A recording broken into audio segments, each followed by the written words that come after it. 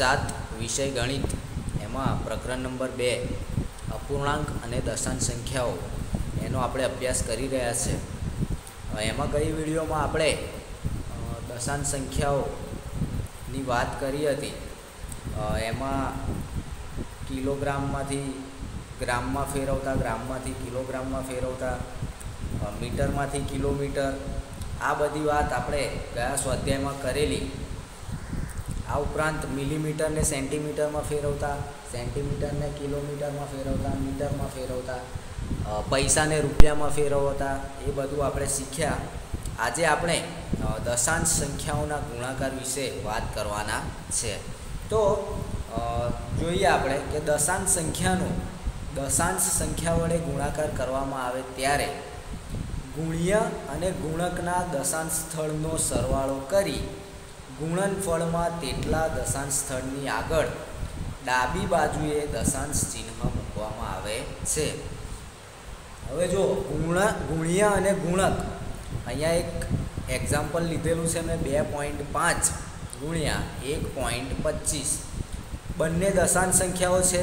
જ્યારે બે દશાંશ સંખ્યાઓનો ગુણાકાર કરવાનો હોય ત્યારે સૌ પ્રથમ તો આ દશાંશ ચિહ્નને, આ જે દશાંશ ચિહ્ન છે પોઈન્ટ એને ધ્યાનમાં લીધા વગર આપણે બે સંખ્યાઓનો ગુણાકાર કરી દેવાનો. એટલે કે પચીસ ગુણ્યા એકસો ને પચીસ. બરાબર છે?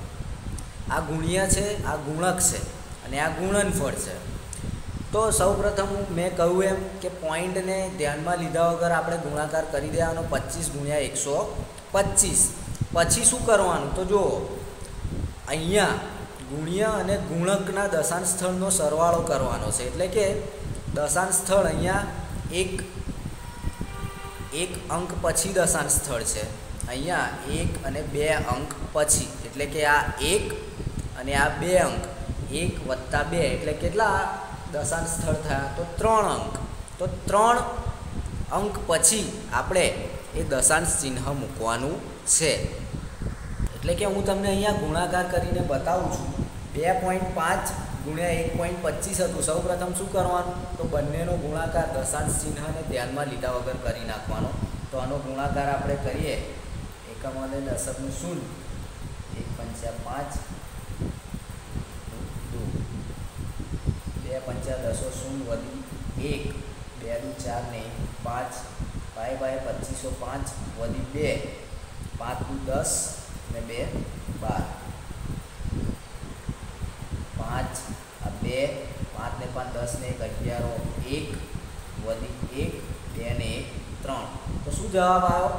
તો ત્રણ હજાર એકસો ને પચીસ. આપણી આપણી પાસે રકમ કઈ હતી? બે પોઈન્ટ પાંચ ગુણ્યા એક પોઈન્ટ પચીસ. હવે જો જો અહીંયા પોઈન્ટ પછી કેટલા અંકો છે? તો એક. અહીંયા પોઈન્ટ પછી કેટલા અંકો છે? બે. તો એ બેનો સરવાળો કરવાનો. એક વત્તા બે કેટલા થાય? તો ત્રણ. તો એક, બે અને ત્રણ પછી આપણે શું મૂકી દેવાનું? પોઈન્ટ. તો આનો જવાબ શું થયો? ત્રણ પોઈન્ટ એકસો ને પચીસ. તો આ રીતે તમે બે દશાંશ સંખ્યાઓ હોય તો એનો ગુણાકાર આ રીતે તમે કરી શકો છો. ત્યારબાદ આપણે આગળ જોઈએ કે દશાંશ સંખ્યાને દસ વડે ગુણતા દશાંશ ચિહ્ન એક દશાંશ સ્થળ જમણી બાજુ ખસે છે. એટલે કે જ્યારે કોઈ પણ દશાંશ સંખ્યા તમને આપેલી હોય અને એને દસ વડે ગુણવાનું કહે ત્યારે આ જે દશાંશ ચિહ્ન છે, એ એક દશાંશ સ્થળ જમણી બાજુ ખસે છે. જમણી બાજુ એટલે આ બાજુ, બરાબર? એક દશાંશ સ્થળ જમણી બાજુ. એટલે એક પોઈન્ટ છોતેર ગુણ્યા દસ કરવા હોય. તો જો એક પોઈન્ટ છોતેરને હું આ રીતે લખી શકું. એકસો છોતેરના છેદમાં સો. એકસો છોતેર પોઈન્ટ પછી કેટલા અંકો છે? બે અંકો. એટલે આપણે નીચે શું મૂકીએ છીએ? બે શૂન્ય એકની પાછળ. આવું મેં શીખવાડેલું છે. બરાબર છે? ગુણ્યા દસ તો છે જ. હવે, અહીંયા ચોખ્ખું કહી દીધેલું છે કે દશાંશ સંખ્યાને દસ વડે ગુણતા દશાંશ ચિહ્ન એક દશાંશ સ્થળ જમણી બાજુ ખસે છે. એટલે તમારે કશું કરવાનું નહીં. જો દસ જોડે ગુણાકાર હોય, તો પોઈન્ટ આપણો એક દશાંશ સ્થળ ખસેડી દેવાનો. એટલે કે આ જે અહીં છે, એ સાત પછી મૂકી દેવાનો. એટલે એનો જવાબ શું થશે? સત્તર પોઈન્ટ છ. એક પોઈન્ટ છોતેર ગુણ્યા દસ. દસ જોડે ગુણાકાર છે એટલે એક દશાંશ સ્થળ જમણી બાજુ ખસેડી દેવાનું પોઈન્ટ બરાબર. એટલે આ આપણે ખસેડ્યું અહીંયા. જુઓ, તો આ જવાબ થશે. એવી જ રીતે, જ્યારે દશાંત સંખ્યાને સો વડે ગુણવામાં આવે, જુઓ. અહીંયા દસ એટલે એક શૂન્ય હતું. એટલે આપણે એક દશાંત સ્થળ ખસેડ્યું. સો વડે ગુણવામાં આવે. અહીંયા બે શૂન્ય છે. એટલે હવે આપણે જમણી બાજુ કેટલા દશાંત સ્થળ ખસેડવાનું? તો બે દશાંત સ્થળ. તો જુઓ, અહીંયા પોઈન્ટ છે, એક પોઈન્ટ છોતેર ગુણ્યા સો. તો એ આ જે દશાંશ ચિહ્ન છે, એને જમણી બાજુ બે પોઈન્ટ બે અંકો પછી મૂકવાનું એને. એટલે કે આ એક અંક અને પછી આ બીજો અંક. એટલે છની પછી પોઈન્ટ આવે. એટલે એકસો છોતેર પોઈન્ટ જીરો એકસો છોતેર પોઈન્ટ જીરો એટલે એકસો ને છોતેર. તો આ આપણો જવાબ થાય. સેમ એવી રીતે જ્યારે દશાંશ સંખ્યાને હજાર વડે ગુણવામાં આવે, ત્યારે જે દશાંશ ચિહ્ન છે, એ ત્રણ દશાંશ સ્થળ જમણી બાજુ ખસે છે. મતલબ તમારે યાદ રાખવાનું કે જેટલા શૂન્ય હોય, એકની પાછળ, બરાબર? ગુણાકારમાં. એટલા દશાંશ સ્થળ જમણી બાજુ તમારે દશાંશ ચિહ્નને ખસેડવાનું છે. તો જોઈએ હવે સ્વાધ્યાય બે પોઈન્ટ છ. એમાં પહેલું કયું છે આપણને શોધો? ઝીરો પોઈન્ટ બે ગુણ્યા છ. જેમ મેં આગળ કહ્યું કે જ્યારે દશાંશ સંખ્યા હોય, એનો ગુણાકાર હોય, ત્યારે સૌપ્રથમ શું કરવાનું? તો એ દશાંશ ચિહ્નને ધ્યાનમાં લીધા વગર તમારે ગુણાકાર કરી નાખવાનો છે. ઝીરો પોઈન્ટ બે એટલે આને ધ્યાનમાં નહીં લેવાનું. ઝીરો બે. ઝીરો બે એટલે કેટલા થાય? તો બે. બે ગુણ્યા છ. દશાંશ ચિહ્નને ધ્યાનમાં લીધા વગર ગુણાકાર કરી નાખવાનો. બે ગુણ્યા છ કેટલા થાય? બાર. પણ આ આપણો જવાબ ના થયો એનો હજુ પાછું શું કરવાનું? ગણવાનું. પોઈન્ટ પછી કેટલા અંકો છે અહીંયા? એક. અહીંયા તો પોઈન્ટ પછી પોઈન્ટ જ નથી, બરાબર? અહીંયા છે પોઈન્ટ મૂકી શકાય. પણ અહીંયા આપણને અંક આપેલા નથી. એટલે એક જ અંક થયો, એટલે હવે આપણે એક અંક પછી પોઈન્ટ મૂકી દઈશું. એક પોઈન્ટ બે, આ આપણો જવાબ થશે. બીજો દાખલો જોઈએ, આઠ ગુણ્યા ચાર પોઈન્ટ છ. દશાંશ ચિહ્નને ધ્યાનમાં લીધા વગર પહેલાં તો ગુણાકાર કરી નાખવાનો, એટલે કે આઠ ગુણ્યા છેતાલીસ, અને ધ્યાનમાં નથી લેવાના પહેલાં. આઠ ગુણ્યા છેતાલીસ કરશો એટલે જવાબ શું આવશે? ત્રણસો ને અડસઠ. હવે પોઈન્ટ પછી કેટલા અંકો છે એક? અહીંયા તો પોઈન્ટ છે નહીં. એટલે આપણે એક અંક પછી શું મૂકીશું? તો પોઈન્ટ તો એનો જવાબ શું થશે અહીંયા? છત્રીસ પોઈન્ટ આઠ. સેમ એવું, બે પોઈન્ટ એકોતેર ગુણ્યા પાંચ. તો આને પોઈન્ટને ધ્યાનમાં લીધા વગર ગુણાકાર કરી નાખવાનો પહેલાં, એટલે બસો એકોતેર ગુણ્યા પાંચ. એનો જવાબ આવશે એક હજાર ત્રણસો ને પંચાવન. હવે પોઈન્ટ પછી કેટલા અંકો છે? બે. અહીંયા પોઈન્ટ પછી કશું છે નહીં. એટલે બે અંકો છે, એનો મતલબ કે એક અને બે અંક પછી આપણે પોઈન્ટ મૂકવાનો. એટલે મેં એક અને બે અંક પછી પોઈન્ટ મૂક્યો છે, તેર પોઈન્ટ પંચાવન. તો આ રીતે તમારે આ ત્રીજો ચોથો, પાંચમો, છઠ્ઠો અને સાતમો દાખલો જાતે પ્રયત્ન કરવાનો છે. અને ના ખબર પડે, તો હું તમને પીડીએફ મોકલવાનો જ છું. એમાં તમારે સમજવાનું છે અને તોય ના ખબર પડે તો તમે મને પૂછી શકો છો. બીજો દાખલો છે લંબચોરસનું ક્ષેત્રફળ શોધો. જેની લંબાઈ પાંચ પોઈન્ટ સાત સેન્ટીમીટર અને પહોળાઈ ત્રણ સેન્ટીમીટર છે. જો અહીંયા લંબચોરસનું ક્ષેત્રફળ શોધવાનું કયું છે, એનો મતલબ આપણને પહેલાંમાં પહેલું તો લંબચોરસના ક્ષેત્રફળનું સૂત્ર આવડવું જોઈએ. આપેલું શું છે તો લંબચોરસની લંબાઈ અને પહોળાઈ આપણને આપેલી છે. લંબાઈ કેટલી છે? પાંચ પોઈન્ટ સાત સેન્ટીમીટર અને પહોળાઈ કેટલી છે? ત્રણ સેન્ટીમીટર. હવે લંબચોરસનું ક્ષેત્રફળનું સૂત્ર શું થાય? તો લંબાઈ ગુણ્યા પહોળાઈ. આ આપણને યાદ હોવું જોઈએ, તો જ આપણે આ દાખલો ગણી શકીએ. લંબાઈ આપેલી છે પાંચ પોઈન્ટ સાત. તો પાંચ પોઈન્ટ સાત સેન્ટીમીટર મૂકી દીધા મેં લંબાઈની જગ્યાએ. ગુણ્યા પહોળાઈ આપેલી છે આપણને ત્રણ સેન્ટીમીટર. તો ગુણ્યા ત્રણ સેન્ટીમીટર પહોળાઈની જગ્યાએ. તો પાંચ પોઈન્ટ સાત ગુણ્યા ત્રણ. મેં શું કહેલું કે પોઈન્ટને ધ્યાનમાં લીધા વગર પહેલાં ગુણાકાર કરી નાખવાનો. એટલે કે સત્તાવન ગુણ્યા ત્રણ કરશો તો તમને જવાબ મળશે એકસો એકોતેર. અને પછી શું કરવાનું? તો પોઈન્ટ પછીના અંકો ગણવાના. અહીંયા પોઈન્ટ પછી એક અંક, અહીંયા પોઈન્ટ નથી. એક, એટલે એકની, એક અંક છે એટલે એક અંકની પછી આપણે શું મૂકી દેવાનો? પોઈન્ટ. એટલે એક સત્તર પોઈન્ટ એક ચોરસ સેન્ટીમીટર. બરાબર? તો આ આપણો જવાબ થશે. સેન્ટીમીટર ગુણ્યા સેન્ટીમીટર એટલે સેન્ટીમીટરનો વર્ગ પણ તમે અહીંયા લખી શકો છો. આગળનો દાખલો છે, ત્રીજો દાખલો છે, શોધો. એક પોઈન્ટ ત્રણ ગુણ્યા દસ. જુઓ, દસનો ગુણાકાર. દશાંશ સંખ્યા સાથે દસનો ગુણાકાર કરવાનો હોય, ત્યારે મેં આગળ હમણાં સમજાવ્યું. શું કરવાનું? દશાંશ ચિહ્નને જમણી બાજુ એક દશાંશ સ્થળ ખસેડવાનું. એટલે એક પોઈન્ટ ત્રણ ગુણ્યા દસનો સીધો જવાબ શું થશે? આ પોઈન્ટ જમણી બાજુ એક ખસશે. એટલે તેર પોઈન્ટ શું થશે? જીરો એટલે કે તેર જવાબ. જો એ રીતે ના ફાવે તો તમે આ રીતે પણ કરી શકો છો. એક પોઈન્ટ ત્રણ. એટલે એને તેરના છેદમાં દસ એવું લખી શકાય. બરાબર? એક પોઈન્ટ ત્રણ. એટલે તેર છેદમાં પોઈન્ટ પછી એક અંક. એટલે એકની એકની જોડે એક શૂન્ય આવે. તો આ રીતે તમે ગુણાકાર પણ કરી શકો છો. પણ પેલું યાદ રહે તો એ પ્રમાણે જ યાદ રાખવાનું છે, એ વધુ સરળ રહેશે કે જ્યારે દસ જોડે ગુણાકાર કરીએ ત્યારે આ પોઈન્ટ જમણી બાજુ એક અંક ખસે.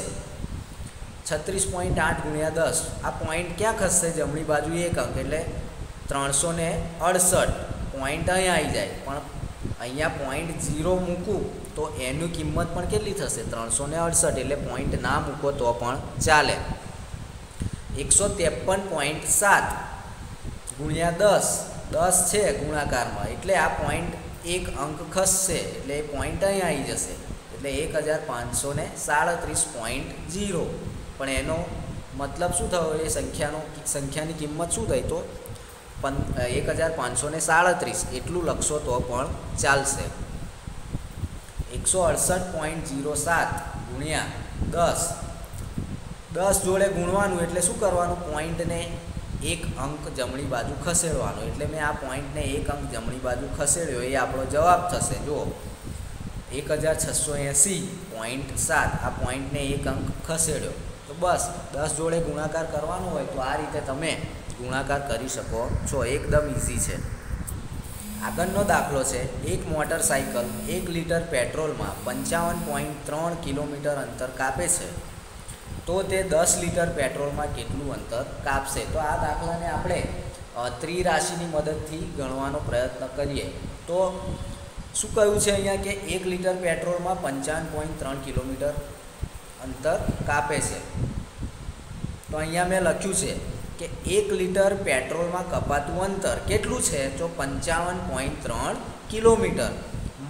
માટે કેટલામાં કેટલું શોધવાનું કહ્યું છે? તો દસ લીટર પેટ્રોલમાં કેટલું અંતર કાપશે એ શોધવાનું છે. જો એક લીટરમાં આટલું અંતર કાપતું હોય, તો દસ લીટરમાં કેટલું અંતર કાપે? આ રીતેનું સૂત્ર તમારે બનાવી દેવાનું છે. એક લીટર પેટ્રોલમાં કપાતું અંતર બરાબર પંચાવન પોઈન્ટ ત્રણ કિલોમીટર માટે દસ લીટર પેટ્રોલમાં કપાતું અંતર કેટલું? જ્યારે આવો ત્રિરાશિના સૂત્રનો ઉપયોગ કરો, ત્યારે આપણને ખબર છે, આપણે શું કરીએ છીએ? તો આ જે પહેલી સંખ્યાઓ છે એને, જે નીચે હોય એને અંશમાં લખી દઈએ છીએ. એટલે આ દસને મેં અહીંયા અંશમાં લખ્યો. છેદમાં શું લખીએ છીએ? એક. પછી શું કરીએ છીએ? ગુણાકાર. અને અહીંયા જે હોય છે એને એઝ ઇટ ઇઝ રાખીએ છીએ. એટલે કે ગુણ્યા પંચાવન પોઈન્ટ ત્રણ. દસના છેદમાં એક. એનો મતલબ કે દસ. એક છેદમાં મૂકો કે ના મૂકો. બરાબર છે? એને દસ લખી શકાય. એનો મતલબ શું થયો કે દસ ગુણ્યા પંચાવન પોઈન્ટ ત્રણ? જો હવે દશાંશ સંખ્યાનો દસ સાથે ગુણાકાર, તો આપણને ખબર છે આ પોઈન્ટ કઈ બાજુ ખસે? જમણી બાજુ એક અંક ખસે, દસ સાથે ગુણાકાર કરીએ ત્યારે. તો આ પોઈન્ટ ત્રણ પછી આવી જશે. એટલે પાંચસો ને ત્રેપન કિલોમીટર, એ આપણો જવાબ થશે. મોટરસાઇકલ દસ લીટર પેટ્રોલમાં પાંચસો ને ત્રેપન કિલોમીટર અંતર કાપશે. આગળનો દાખલો છે, પાંચમો દાખલો છે, શોધો. બે પોઈન્ટ પાંચ ગુણ્યા જીરો જીરો પોઈન્ટ ત્રણ. બે દશાંશ સંખ્યાઓનો ગુણાકાર છે. તો આગળ આપણે જોઈ ગયા કે જ્યારે બે દશાંશ સંખ્યાઓનો ગુણાકાર કરવાનો હોય, ટૂંકમાં જ્યારે પણ દશાંશ સંખ્યા આવે ગુણાકારમાં, ત્યારે એના દશાંશ ચિહ્નને ધ્યાનમાં લીધા વગર તમારે પહેલાં ગુણાકાર કરી દેવાનો છે. એટલે બે પોઈન્ટ પાંચને હું લખું છું પચીસ. આ પોઈન્ટને અત્યારે ગણતો નથી. આ પોઈન્ટ ગણતો નથી એટલે જીરો ત્રણ થશે. જીરો ત્રણ એટલે શું થાય? ત્રણ. તો પહેલાં દશાંશ ચિહ્નને ધ્યાનમાં લીધા વગર તમારે ગુણાકાર કરી દેવાનો છે. એટલે કે પચીસ ગુણ્યા ત્રણ કેટલા થાય? પંચોતેર. પછી શું કરવાનું? તો દશાંશ ચિહ્ન પછી કેટલા અંકો છે એ ગણવાનું. તો અહીંયા દશાંશ ચિહ્ન પછી એક અંક છે. અહીંયા દશાંશ ચિહ્ન પછી એક અંક છે. બંને બાજુ એક એક અંક છે. એક વત્તા એક. એટલે કેટલા થયા? બે. તો હવે આ જે પંચોતેર આવ્યા એમાં જમણી બાજુથી ગણવાનું સ્ટાર્ટ કરવાનું. અને બે અંક પછી આપણે પોઈન્ટ મૂકવાનો. તો એક અને બે, અને પછી પોઈન્ટ આવશે એટલે અહીંયા મેં લખેલું છે, જુઓ.